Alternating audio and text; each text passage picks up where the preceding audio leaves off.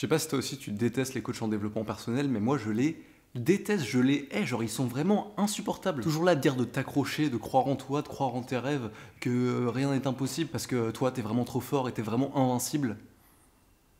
Attends, c'est vrai que dit comme ça, ça a pas l'air si horrible. Ouais, non, mais tu sais, ils sont tout le temps là à te dire de sortir de ta zone de confort, à, à te dépasser pour pouvoir euh, arriver à ce que t'as vraiment envie de faire. Mais attends, mais là aussi, c'est pas si mal que ça, en fait, dans une certaine mesure. À la limite, c'est un peu bateau et c'est facile à dire, mais y a pas de problème, quoi. Ouais, enfin, tu sais, ils vont aussi faire des formations où ils vont t'expliquer comment euh, bien manger ou euh, euh, comment faire du sport. En même temps, c'est un modèle économique comme un autre. Mais Attends, mais pourquoi on déteste ces gens-là en fait? Bah Moi je pense qu'en fait la raison pour laquelle on les déteste, c'est pour une raison très simple, c'est parce que leur discours et la manière qu'ils ont de présenter le monde et ce qui est important pour eux, bah en fait elle a été récupérée par des gens qui l'utilisent mais pour en faire de la merde en fait. Et là tu m'auras compris, je vais parler des politiques. Genre en fait les coachs en développement personnel, qu'est-ce qu'ils vont faire la plupart du temps?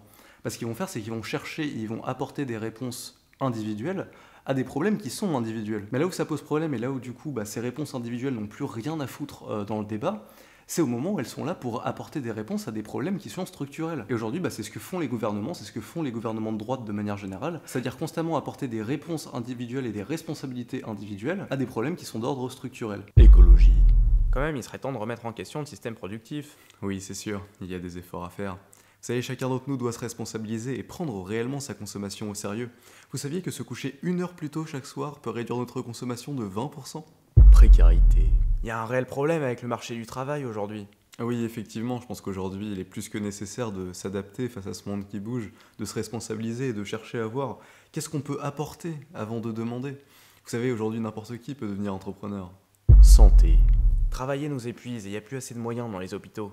Oui, je suis tout à fait d'accord, et c'est pourquoi nous devons continuer le travail de prévention et d'éducation quant au bon comportement à adopter pour pouvoir préserver une santé mentale et physique saine, comme par exemple le fait de pouvoir pratiquer une activité physique régulière. Et c'est pour ça qu'au bout d'un moment, on finit par développer une sorte de réactance complète à ce genre de discours qui nous disent de nous dépasser, qui nous disent des choses qui sont au final assez positives, si c'était juste censé nous apporter des réponses sur notre vie. Parce qu'en fait, on a l'habitude d'entendre ces réponses-là pour absolument tout et qu'on commence à en avoir plus que marre en fait. Genre non, je pense qu'au bout d'un moment, on va pouvoir dire qu'on va pas régler euh, les problèmes de dépression en France en allant tous à Basic Fit. Pour moi, c'est pas un truc qui est possible. Et je pense qu'en fait, le réel problème est là, c'est qu'aujourd'hui, au pouvoir, en fait, on n'a pas des politiques. Aujourd'hui, au pouvoir, on a des coachs en développement personnel. Et du coup, je pense que j'ai rien contre les coachs en développement personnel, mais j'aimerais qu'il reste des coachs en développement personnel, qui soient là sur Internet, à nous vendre notre formation, à nous parler de leur morning routine, à nous parler de comment faire un petit déjeuner qui soit euh, haut en protéines, mais pas trop haut en glucides, à nous expliquer comment bien dormir le soir, mais je les veux pas à la putain de tête de l'État, en fait. Ça me semble logique. Moi, pour moi, la politique, c'est censé être une profession où tu vas régler des problèmes d'ordre structurel, où tu peux réfléchir à comment faire en sorte que justement les individus n'aient pas à reposer uniquement sur eux-mêmes pour pouvoir vivre une vie à peu près normale. Et pour moi, un politique qui te demande de faire des efforts, bah c'est pas un politique en fait, c'est un gars justement qui fait pas son boulot. Des efforts, on en fait tous. Et je pense que de toute façon, pour 95% des gens, quand tu sais que ce que tu risques, bah c'est plus pouvoir payer ton loyer, plus avoir de quoi bouffer et plus avoir de vie sociale, bah je pense que t'as besoin de personne pour te rappeler que t'es obligé de faire des choses en fait. Mais du coup, voilà, pourquoi est-ce qu'on déteste les coachs en développement personnel? Bah parce que justement, leur discours, la manière qu'ils ont de régler les problèmes, bah elle a été récupérée politiquement, justement parce que c'est beaucoup plus simple de demander aux gens de faire des efforts par eux-mêmes et de trouver des moyens de s'accomplir eux-mêmes dans leur vie et de s'accrocher, de jamais arrêter de croire qu'ils pourront y arriver, parce que justement c'est extrêmement euh, utile pour un politique d'avoir tout un tas de gens qui sont persuadés que les structures n'ont pas euh, tant d'importance que ça sur eux, tant d'impact que ça sur eux, et que par voie de conséquence, si ça n'a pas tant d'importance que ça, si ça n'a pas tant d'impact que ça, bah pourquoi est-ce qu'on se ferait chier à les changer en fait? Mais maintenant qu'on a dit ça, les coachs en développement personnel en eux-mêmes, il est où le problème? Bah En fait, quand on y réfléchit comme ça, il n'y en a pas quoi. Dans la réalité, euh, oui, effectivement, euh, même dans un système parfait, euh, bah, tu dois te dépasser. euh, et j'ai envie de dire, même dans un système horrible, reste que tu as quand même une vie et que tu es quand même obligé d'essayer de faire quelque chose. Et si tu sais qu'en tant que groupe, les structures, elles ont de l'impact, bah, en tant qu'individu, si t'as pas l'espoir de t'en émanciper, en fait, tu t'en sors jamais, t'es tout le temps en train de te dire qu'il y a rien que tu peux faire et que t'es vraiment doumé, quoi. Et il y a un truc que pour le coup je veux bien reconnaître, c'est que je pense que effectivement la plupart des coachs en développement personnel sont de droite. C'est-à-dire qu'ils pensent réellement que euh, l'individu est maître de lui-même et que c'est lui qui décide de sa propre destinée. Et il est complètement possible qu'il sous-estime complètement l'influence des structures et qu'il pense réellement que n'importe qui, n'importe où peut s'en sortir parce que quand on veut, on peut. Mais en même temps, j'ai envie de te dire, euh, bah, ils sont coachs en développement personnel, quoi. Euh, c'est leur taf de penser ça. Mais déjà qu'il y a une grosse partie de la France qui est à droite, bah va pas t'étonner que la majorité des gens qui réfléchissent à des problématiques d'ordre individuel, bah, ils vont avoir une pensée qui va être un peu, euh, oui, centrée sur l'individu. Et c'est là où je vais revenir sur ma phrase du début. Je pense qu'on peut pas chercher à résoudre des problèmes d'ordre structurel qu'avec des réponses d'ordre individuel. Et le plus gros problème qu'on a aujourd'hui, c'est que la majorité de nos problèmes sont d'ordre structurel. On est dominé par le marché du travail, on est dominé par le capitalisme, on est dominé par des injonctions constantes de toutes sortes. Mais pour le coup, je pense aussi que la réciproque est vraie, c'est-à-dire qu'on peut pas chercher à résoudre des problèmes d'ordre individuel uniquement par des réponses d'ordre structurel. Par exemple, je pense que la problématique de ne pas avoir de sens à sa vie, bah, c'est un problème qui est effectivement causé en grande partie par le capital, qui empêche justement une très grande partie de la population de pouvoir s'imaginer trouver un sens dans un monde qui le contraint en permanence. Mais je pense pas que le sens il arrive comme ça magiquement dès qu'il n'y a plus de capitalisme ou dès qu'il n'y a plus de marché du travail. De la même manière, je pense pas que l'arrêt du capitalisme va supprimer toutes sortes euh, de hiérarchies sociales ou quoi que ce soit. En fait, on vit toujours, quoi qu'il arrive, dans des sortes de structures et que même si elles sont horribles et stupides, bah, une fois qu'on a fait sa part de lutte, on peut pas passer sa vie à espérer qu'elles vont s'enlever pour pouvoir commencer à penser qu'on peut réaliser ce qu'on a envie de faire. Et c'est pour ça qu'aujourd'hui, j'aimerais me réconcilier un petit peu avec les coachs en développement personnel.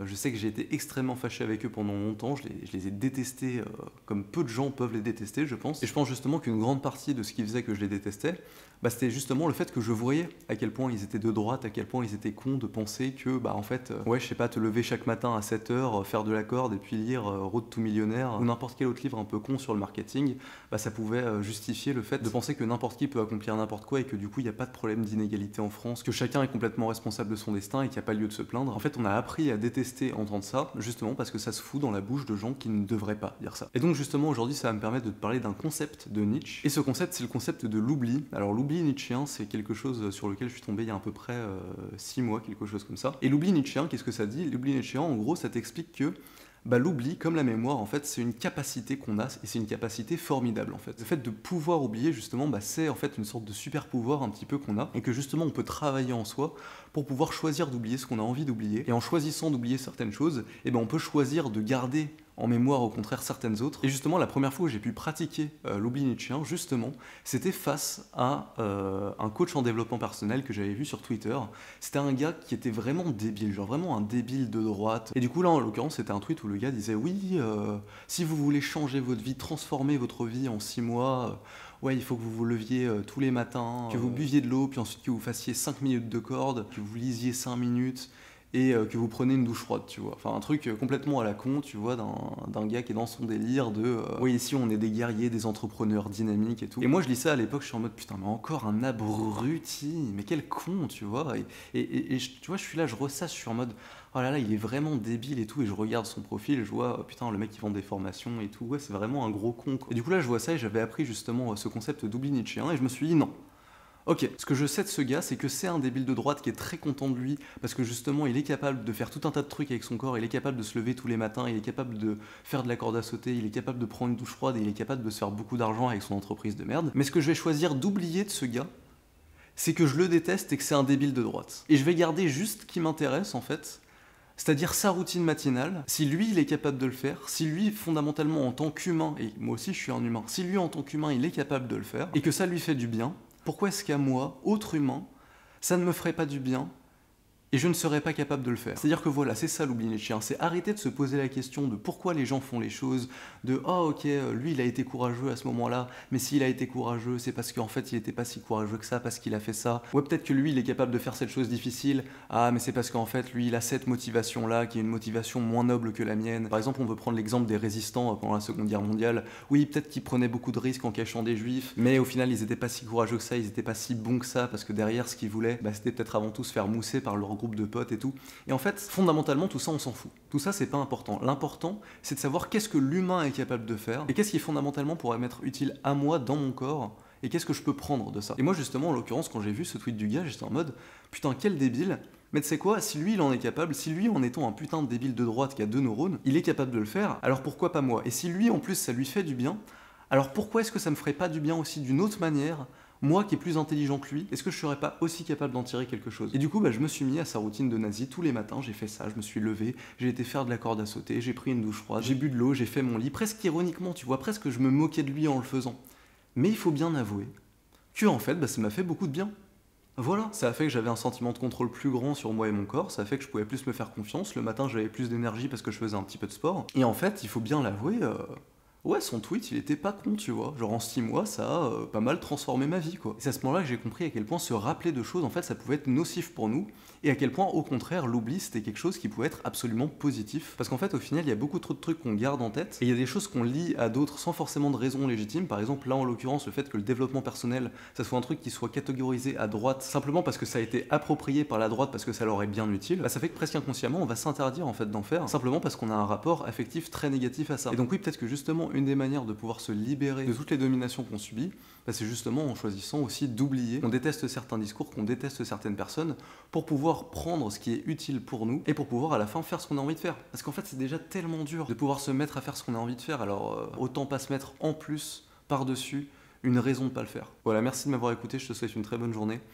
et euh, bah, je te fais des gros bisous. À demain.